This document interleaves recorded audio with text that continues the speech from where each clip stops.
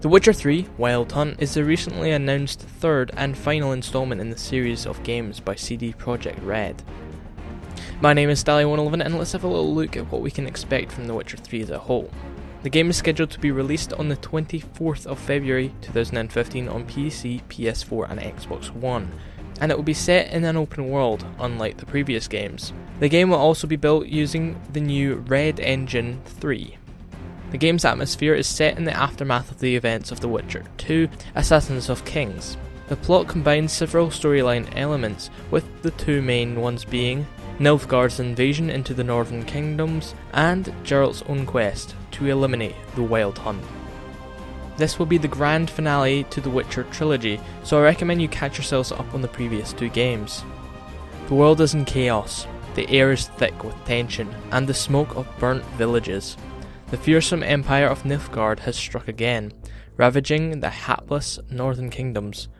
The once mighty who tried to use Geralt for their own gain are now gone. In these uncertain times, no one can say what fortune holds in store.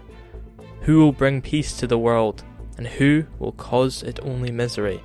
But a force much, much darker and deadlier emerges. The petty men and women commanding tin plated armies fail to understand that their conflicts is child's play compared to the wild hunt, the otherworldly threat which now looms.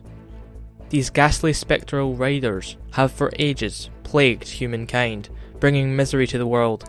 Yet this time, the wild hunt seeks one person in particular, the one individual destiny itself bestowed upon Geralt, the one soul Geralt considers kin. The game is fully dynamic and has extremely realistic lighting. Visually, the game looks amazing, but time will tell if it plays well.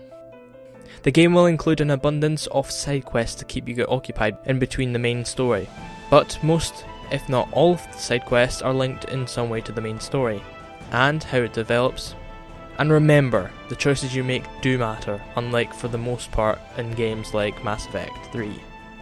The vast open world is 35 times bigger than the playable areas in The Witcher 2, and even more so in the first title. And it is a very diverse and fairly dense world with multiple ecosystems and cultures that you, the player, can interact with and move between at will. And you are free to explore the whole world without any loading screens, except the one you entered the game with.